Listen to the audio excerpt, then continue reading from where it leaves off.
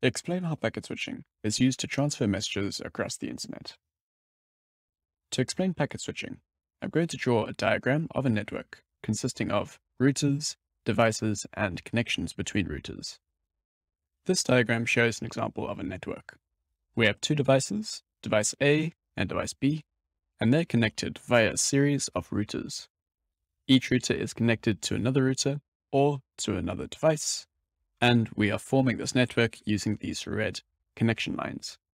These connection lines are serial connection lines, meaning that they can transmit one bit at a time. That also means that we can only transmit a single packet in one time frame. We want to transfer a message from device A to device B. Let's take a single message. We're going to split it up into four equally sized packets, P1, P2, P3, and P4. Each packet could be sent down different routes, depending on a couple of factors. The first factor is whether the line is being used or not. If the line is being used by another packet, the router or the device will try to find another line that is more efficient. If there is congestion in one of the lines or one of the connections, then the router will try and find a quicker route. So starting off with packet 1, the fastest route is going to be going to route 3, then to route 5, and then to B. Let's write that in. Packet 2 is then sent on the next time frame. Device A sees that this first line is being used by packet 1. So it's going to send packet 2 over to router 1. When it gets to router 1, the only way it can go is to router 2, so we're going to write down 2. It can then choose between either router 4 or router 5. Let's choose router 4, and then it will go to B.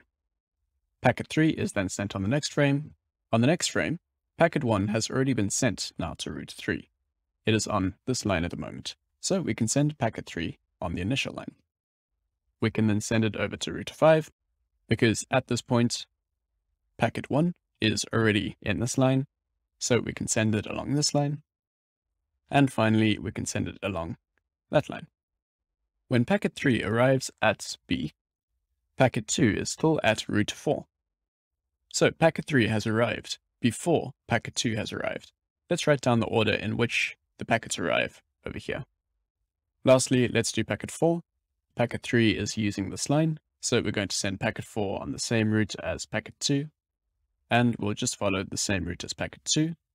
We could even diverge from our route and then go to packet 5, in case there could be some congestion within this line. Let's choose this route here. And finally, we'll go on this route. So packet 4 is going to arrive last. You can see now the packets are arriving out of order. So what the device does is it rearranges these packets based upon their packet number. And that is how packet switching is achieved. So let's go ahead and write in our answer. We're going to go through step by step what happens. First off, we had our message. The message is then split up into packets. So let's write that a message is split up into a group of same sized packets. Then from device A, each packet is going to be dispatched independently. So we can write that down. And the packets may follow different routes. Once the packets arrive at their destination, they may arrive out of order. If this is the case, then device B is going to rearrange our packets. There is one last case that may happen, and that is if a packet gets lost during its transmission. There may be a router malfunction, or there may be a line corruption, in which case the packet may get lost. If that is the case, then device B is going to send a retransmission request back to device A, and device A will resend that packet. So, if packets are missing, a retransmission request is sent. And there we go, that is our 5 mark answer.